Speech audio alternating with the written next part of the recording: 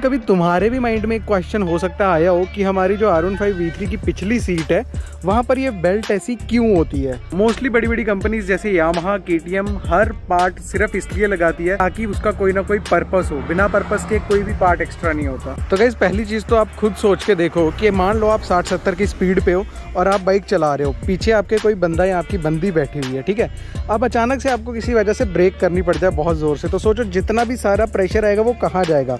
समझ रहे हो ना भाई? बस इसीलिए ये यहाँ पर है ताकि जो भी पिलियन राइडर पीछे बैठेगा अगर आप ब्रेक मारते तो उसको थोड़ी सी रोक मिल जाए आपके वहाँ पर प्रेशर थोड़ा कम पड़े और आप बच जाओ। अब भाई हम तो है भारत देश से तो हमें ना कोई ना कोई जुगाड़ भी बिठाना था कि इसके और क्या क्या काम हो सकता हैं तो दिखाता हूँ। तो आप बाइक किसी ऐसी जगह फंसा देते हो जहाँ मोड़ने के लिए जगह बहुत कम है तो ये तरीका आपको काम आएगा। आपको बस उस बेल्ट से पकड़ना है और ये देखो भाई। वेल अगर आप भी मेरी तरह V3 लवर है तो नीचे जाके यहाँ पर सब्सक्राइब कर लो और वीडियो को लाइक कर दो बिकॉज़ ऐसी ज़बरदस्त वाली वीडियोस आती रहती हैं।